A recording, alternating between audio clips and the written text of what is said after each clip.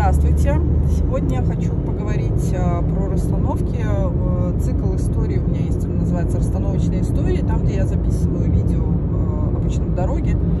Вот, и просто рассказываю какие-то случаи из расстановок, вот как примеры, чтобы вы, может быть, как-то на себя примеряли, что-то, может быть, у вас что-то было похожее. Вот. История такая. Обращается девушка с аллопецией. Аллопеция – это э, облысение, да, выпадение волос, ну, то есть, когда оно уже такое, когда это как, как диагноз ставится. А вот, и говорит, что у нее волосы выпадать еще там где-то в детстве, ну, в подростковом возрасте. Вот, и, э, в общем, всю жизнь этот процесс идет э, так или иначе. Вот. И мы стали расставлять, и оказалось, что в детстве она а, чуть не утонула.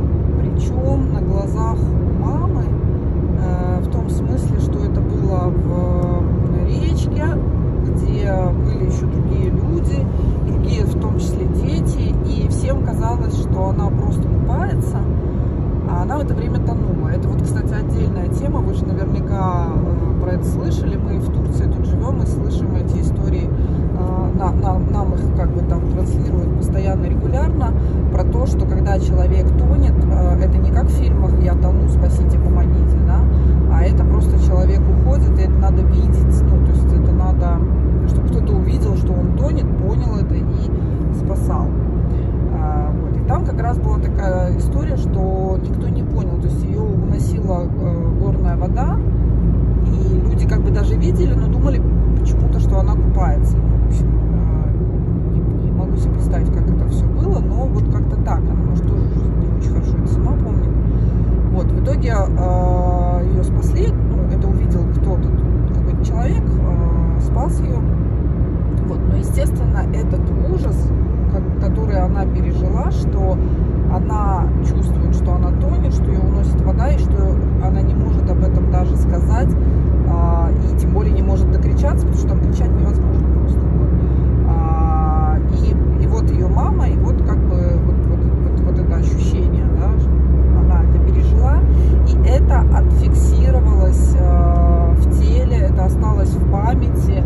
Э, и если у кого-то из вас были какие-то похожие истории, да, когда вот э, вы проходили через что-то подобное, да, там через э, э воду, э, когда там чуть не утонули, либо через э, пожар, может быть, где-то был пожар сильный, и вас там, например, как-то спасли, да, вот, э, то кажется, что, ай, ну, в детстве, ну, было и было, да, а это остается в теле и остается на уровне вот такого, как, как, это сказать, подкорочном, да, то есть на уровне э, подсознания ужас, э, смерть, страх смерти, э, страх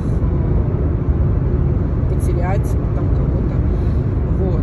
И это остается, и это э, вот так вот выражается какими-то разными телесными диагнозами. Вот. Не всегда обязательно телесными, иногда может быть э, в каких-то поведенческих реакциях. А, ну вот такой вот э, рассказ, такая история. Я не к тому, что надо что-то брать и делать, да, я к тому, что чтобы вы знали, что так может быть, и что,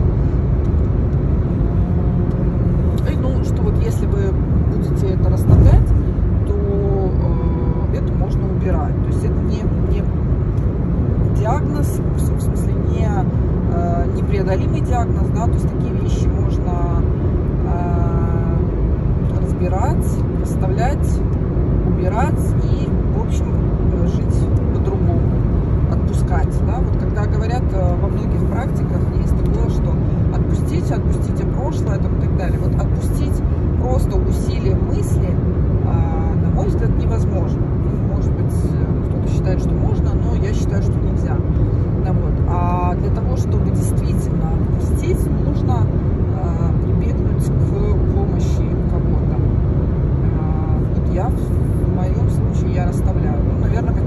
страны могли бы это сделать там, из своих техник и практик как-то по-другому.